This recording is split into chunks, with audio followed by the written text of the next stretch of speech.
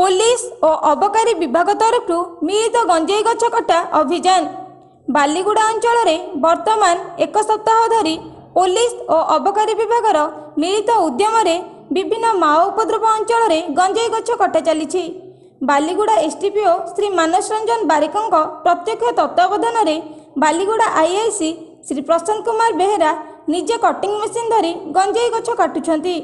Police ଓ ଅବକାରୀ ବିଭାଗର ମିଳିତ ଭାବେ ଗଞ୍ଜେଇ ଗଛ କାଟିବା ଫଳରେ ଗଞ୍ଜେଇ ଚାଷୀଙ୍କ ମଧ୍ୟରେ କୋକୁଆ ଭୟ ସୃଷ୍ଟି ହୋଇଛି। ଯଦି ଏହିପରି ନିୟମିତ ଗଞ୍ଜେଇ ଗଛ ରୋପଣ ବେଳଠାରୁ ଗଞ୍ଜେଇ ଆଦାୟ କରିବା ସମୟ ଯାଏଁ ପୋଲିସ ଓ ଅବକାରୀ ବିଭାଗର ମିଳିତ ଚଢ଼ାଉ ଓ ଗଛ କଟା ଗଲେ ଜିଲ୍ଲାରେ ଗଞ୍ଜେଇ ଚାଷ ଓ ଚାଲାଣକୁ କିଛି ପରିମାଣରେ ରୋକାଯାଇ ପାରିବ ବୋଲି ବୁଦ୍ଧିଜୀବୀମାନେ ମତ ପ୍ରକାଶ କରିଛନ୍ତି। Bureau report reporters update.